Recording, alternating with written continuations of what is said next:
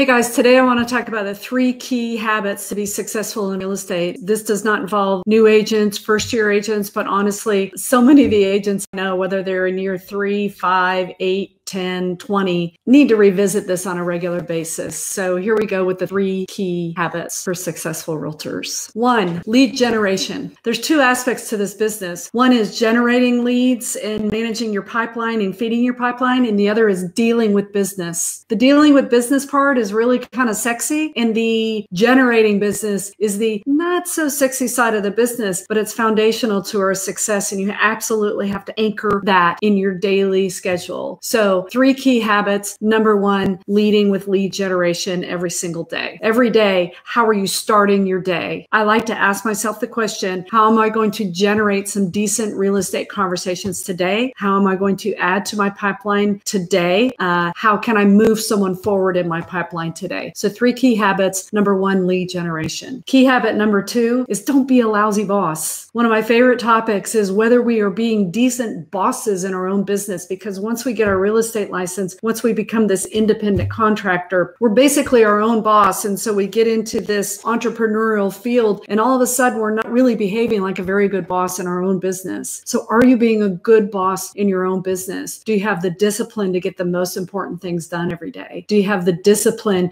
to attend to that pipeline and lead generation to as an anchor to every day? So key habit number two is being a decent boss in your own business. That involves some focus and some discipline. You don't have to be disciplined for eight hours a day. Honestly, that's completely unrealistic for me. I can be all over the place, but I know that I have to be really focused and disciplined for a minimum two hours every day. And I really, in most cases, attempt to do that in the morning. So that's key habit number two is being a decent boss in your own business. And key habit number three is knowledge, your knowledge base. This is absolutely critical for new agents because you have to ramp that up as quickly as possible. But if you're even if you're in years two, three, five, ten. I'm in year 21 in my business, and currently we're in a market that has some dynamics we have never seen before. So I'm really having to study the market. I'm having to read things that come through from my broker, things that come through from my board, things that come through from title companies, uh, discussions that agents are having online. So I'm keeping my finger on the pulse of the business. There's new contract that was just released in Texas recently, and I'm having to study that, and I'm talking to other agents about it. So is the knowledge. So here's your three key habits to be successful in real estate. One, lead generation. Two, don't be a lousy boss. Three is your knowledge base. Go get them, my friends.